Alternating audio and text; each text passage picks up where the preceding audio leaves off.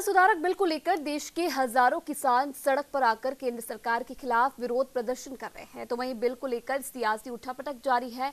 विपक्ष ने सरकार को घेरने की पूरी तैयारी कर ली है। किसान बिल को लेकर विपक्ष का कहना है कि मोदी सरकार किसानों को मजदूर बनाना चाहती है और बरसों पुरानी जमींदारी प्रथा को फिर से शुरू करना चाहती है। वहीं दूसरी तरफ़ बिल के विरोध में किसान 24 सितंबर से 26 सितंबर तक देशव्यापी रेल रोको आंदोलन करेंगे। इस पर एक रिपोर्ट देखिए। इन विधेयकों ने हमारे अन्नदाता किसानों को अनेक बंधनों से मुक्ति दिलाई है। आज़ादी के बाद किसानों को किसानी में एक नई आज़ादी देने का काम हुआ है।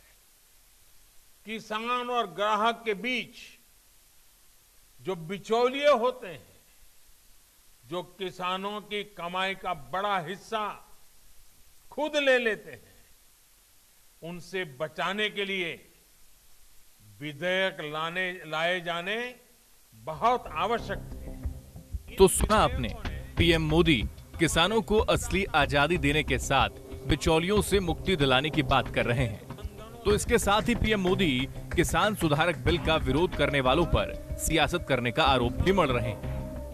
कुछ लोग, जो लोग दशकों तक